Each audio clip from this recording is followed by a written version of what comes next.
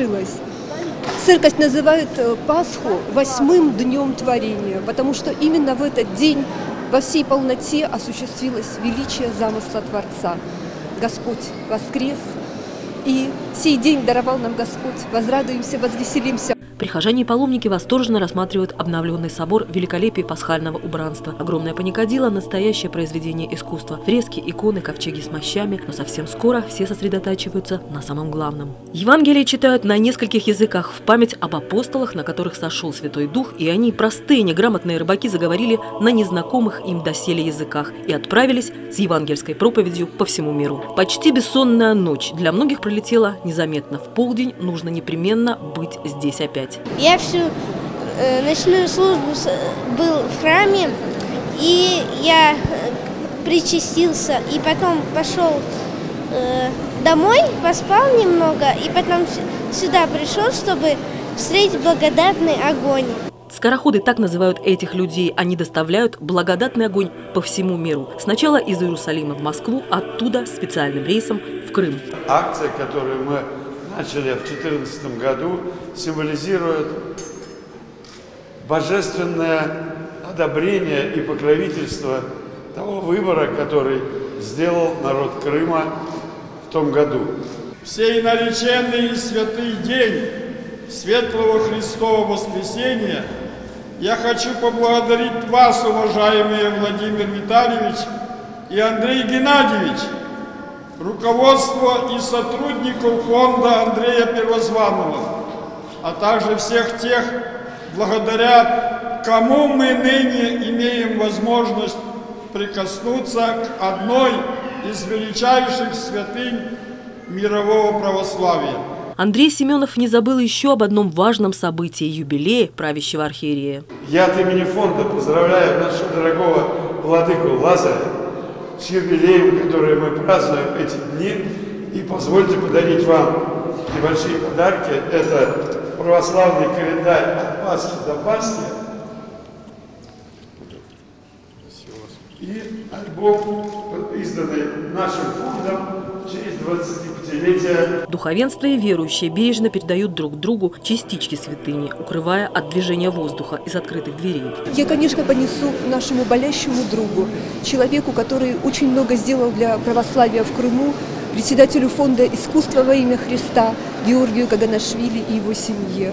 Э, потому что именно в эти дни нужно относить огонь тем, которым он больше всего нужен. Благодатный огонь, осветивший обновленный храм, приумножил, конечно же, хороших мыслей о людях, имеющих амбиции и желающих прикоснуться к телу истории, к чему-то великому и значимому. Смерть, где твое жало, ад, где твоя победа? Воскрес Христос, и ты не звержен. Воскрес Христос, и пали демоны. Воскрес Христос, и ликуют ангелы. Воскрес Христос, и жизнь торжествует.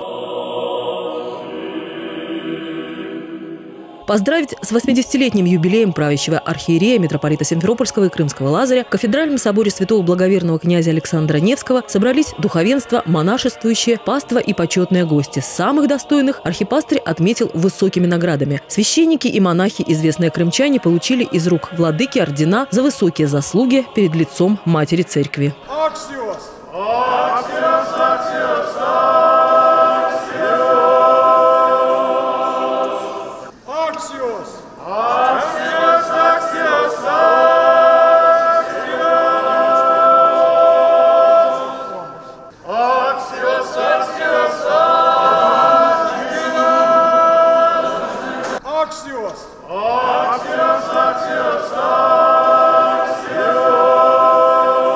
После праздничной божественной литургии митрополит Симферопольский и Крымский Лазарь услышал много теплых и добрых слов в свой адрес. Поздравляли владыку с юбилеем искренне от чистого сердца и желали многое и благое лето. Владыка, хочу обратиться к вам самыми главными словами нашей жизни. Христос воскресе! Воистину воскресе! Эти слова просвещают, обновляют, утверждают жизнь в наших сердцах, помогают нам увидеть иное качество бытия, ощутить великие, глубинный, неохватный нашим уму божественный замысел о спасении всякой твари и всякого человека, о той божественной любви, которая снизошла на землю, приобрела образ человека, садилась рабом, приняла распятие погребение и воскрес для того, чтобы мы обожились, чтобы мы стали наследниками Царства Небесного. От всего сердца желаю вам крепости Духа, долгих лет служения престолу Божию, милости Божией и хочу поздравить еще и с юбилеем, с тем служением, которое вы осуществляли большую часть своей жизни во славу Божию, на благо Матери Церкви. Служили престолу, проповедовали Слово истины, совершали кератонию, строили, открывали храмы, открывали новые монастыри, совершали то, что совершает Бог в сердце всякого человека, любящего своего Творца и действующего по Его заповеди. И как мы сейчас видим, спустя многие десятилетия Господь благословил ваши дела, ваши усилия, ваши труды. По плодам их узнаете их. И мы узнаем, дорогой Владыка, вас, раба Христова, по тем делам, которые вы совершили, во славу Божию, из любви к Матери Церкви, ради спасения ближних, ради просвещения и обновления и утверждения веры Крымской епархии, древней Тавриде, где проповедовал Слово Божие апостол Андрей Первозванный, где совершал свое служение святителя Лука, исповедник и чудотворец, где было много и много великих святых. В этот особенный день хочу вам еще раз и еще раз пожелать милости Божией, крепости, здравия и еще раз долгих лет служения престолу Божию. Многое и благое лето, дорогой владыка и архипастырь. Дорогой Владыка, в этот день поздравляю вас с великим праздником праздников и торжеством торжеств Святой Пасхи Христовой. Мы, представители духовенства нашей богоспасаемой Северобургской Крымской епархии, которую вы возглавляете уже с 1992 года, пришли поздравить, как совершенно верно заметил сейчас Владыка Нестор, вас, конечно, и с Пасхой Христовой, но и с великим юбилеем.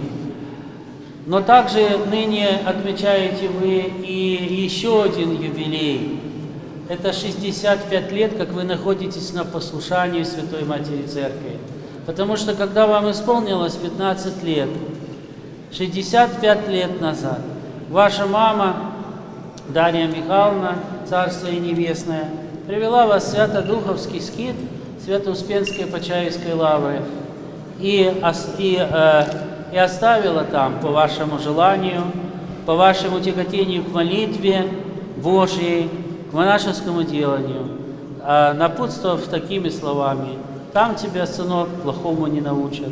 И действительно, Почаевская лавра стала для вас тем высшим университетом, той высшей академией, Академией любви, Академией послушания Святой Матери Церкви, Священному Началию, которую вы не просто успешно завершили, а выйдя из нее, затем преподаете это всем нам, тем, которые вас окружают, тем, которых вы руку положили, тем, кого вы обучали в духов, духовно, даже духовно-пасторских курсах, духовном училище, затем Таврической духовной семинарии.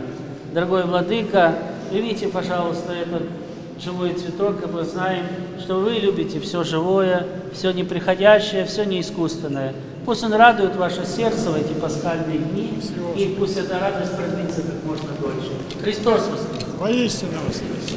Дорогой Владыка, примите и от монашества Симферопольской Крымской епархии искренние поздравления с Пасхой Христовою и с юбилеем, 80-летием. Крымская земля в этом году торжествует на Пасху вдвойне, потому что ее архипастырь пришел к такому прекрасному возрасту. Другой Владыка, 27 лет вы на кафедре Симферопольской Крымской епархии. Когда вы пришли на Крым, вы обрящили десяток храмов и ни одного монастыря. Все монастыри были в руинах и в развалинах. Сейчас 16 действующих монастырей в Крыму. Сейчас более 500 храмов. Это ваши заслуги, и вы вошли уже в историю как созидатель и открыватель опять святой Тавриды. Друговладыка, вы являетесь наследником святого апостола Андрея Первозванного, челмучика Климета Римского, Мартина Исповедника и многих святителей, которые утверждали христианство на Крымской земле. Уже много сделано вами трудами, уже много построено, и этот великолепный собор, который мы сегодня в селе зреем и радует наш глаз, это прекрасная роспись и вся утварь и убранство в этом соборе, главном соборе нашей крымской земли. Другой владыка, это все свидетельствует о, вашем, о ваших трудах.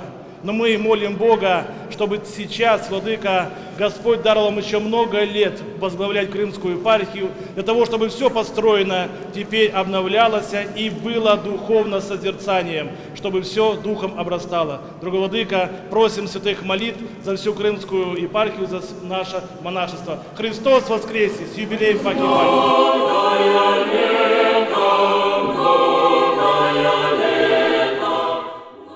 Ваше Высокопреосвященство, дорогой наш Владыка, наш ректор и наш Отец, позвольте мне, Владыка, поздравить вас сегодня от имени всей профессорско-преподавательской корпорации и всех воспитанников Таврической духовной семинарии, бессменным ректором, который вы являетесь, замечательным юбилеем и Пасхой Христовой. Мы знаем, Владыка, что у каждого предмета есть свой центр – но не в этом центре осуществляется его жизнь, потому что у центра есть ядро, и оно не самое главное. Самое главное – это центр ядра. Духовная церковная жизнь в Крыму сосредотачивается, ее центром является Симферопольская Крымская епархия. Но ядро этого центра – это ее духовенство, а вы, Владыка, являетесь центром этого ядра. И нам очень важно и очень дорого, чтобы центр, был, чтобы центр ядра был крепок и был горяч, как мы слышали сегодня из евангельских слов, исповедовали Лука и Клеопа. Разве не горело сердце наше, когда он был среди нас и говорил с нами? Горячее сердце есть всегда признак понимания Христа и признания Христа. О Христе много можно читать и много можно говорить. Мы слышали сегодня, люди спорили друг с другом о Христе, и что самое парадоксальное, самим Христом спорили о Христе, и никто его не узнавал, но узнали лишь в преломлении хлеба. Духовное образование в церкви – это не центр, это не ядро, это центр ядра. Христос никому не позволял учить, ни исцеленным людям, ни бесноватым, ни самому дьяволу, хотя они правду говорили сыном Давидом, сыном Божьим исповедали, с одной целью, чтобы никто не исказил его учение. Господь сам учил о своей церкви. И доколе не воспитал и не образовал 12 учеников, а позже и 70 учеников не оставил церковь. Поэтому вы, Владыка, возродив семинарию духовную, обеспечили самое главное – возможность кристального чистого получения под вашим четким присмотром сообщение церковного предания во времена. И самое умилительное для архипасторского сердца поздравление от воспитанников воскресной школы при Свято-Троицком женском монастыре. Маленькие прихожане неизменно славословят своего владыку и никогда не остаются без архиерейских гостинцев.